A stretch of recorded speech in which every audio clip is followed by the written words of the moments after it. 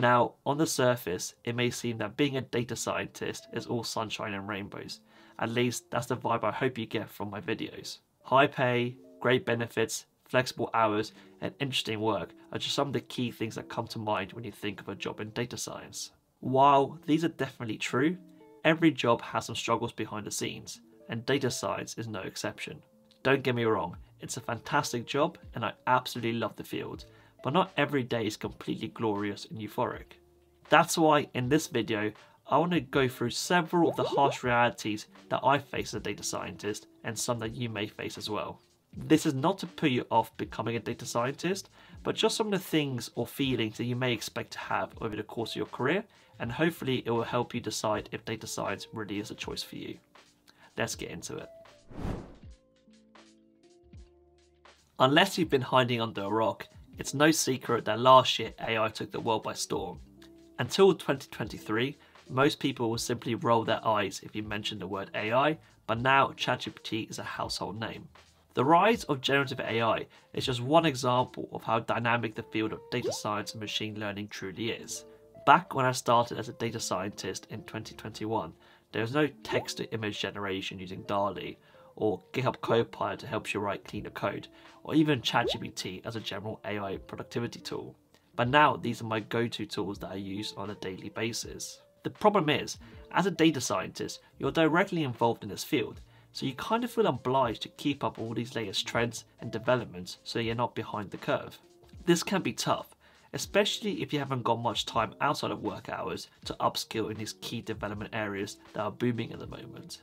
Obviously, the popularity of generative AI is an extreme example, and it's kind of like a revolutionary technology.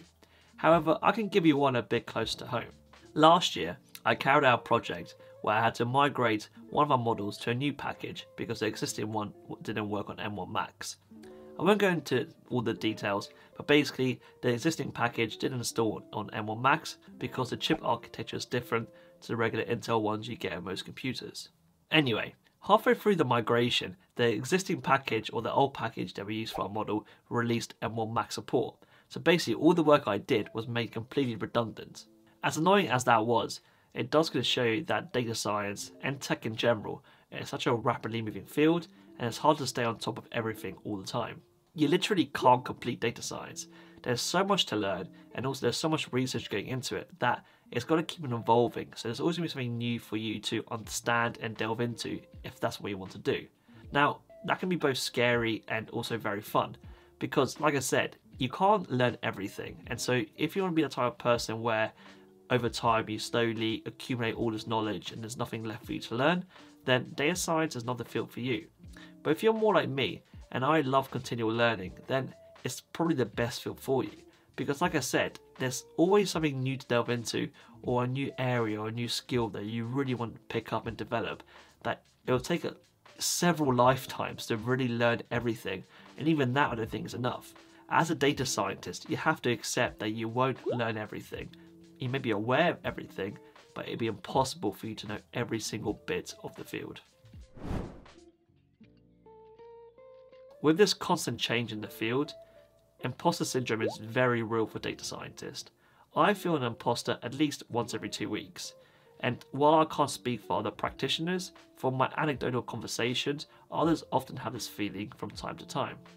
By immediately opening up LinkedIn or Medium, you're bombarded by people building these cool projects and these fancy models to solve weird problems. Someone may be doing, you know, a deep reinforcement learning agent to predict the weather, or a ChatGPT time series forecasting algorithm to measure stock price returns. Now, obviously, these are just fictional examples, but they are based on some ground truth that I see frequently on these platforms. And it's quite difficult not to look at all these cool things people are building and not think that you're behind. It often feels like people are creating things all the time, whilst you're not keeping up with them or your knowledge is not as in depth as them in that certain area. It's important to realize that this is not the case and that, you know, people aren't constantly creating and building things all the time. While some people are like this, the majority of data scientists are not. One data scientist may be really good at reinforcement learning, but have really weak knowledge on combinatorial optimization, or vice versa what you often find is that people really only speak about things that they're really good in or they know a lot about and less about the areas that they know least about. I mean, that's just common kind of human nature. You want to speak about things you know about, not the things you don't know about. And that's why online it may seem like people are doing so many things, but they're not really. They're just doing one thing and they may release one project, you know, every two months. But because the internet's filled with billions of people, it seems like people are doing things all the time, but they're not. It's just a platform is showing you those things. The main point is that if you want to be a data scientist, be prepared to feel like you don't know enough, or that even like you're a failure sometimes. But remember, that's not the case, and I promise you, a lot of data scientists out there definitely feel like this from time to time as well, so you're not the only one. Now, data science is quite a new field, and the term is still not very clearly defined, and this often leads to inconsistencies with job postings, the people you speak to, or even if you work at a company, people may not know exactly what you do as a data scientist. If you are a divorce lawyer, it's very clear what you do. Likewise, if you're a doctor or a dentist. However, a data scientist is way more diverse and people have so many opinions or at least views of what you actually do. A data scientist at one company may be completely different to a data scientist at another company. At one company, you may be a data scientist that does a lot of machine learning. However, another company, you may be a data scientist that does just completely analytical work. Again, it varies so much. It also depends on the structure of your company.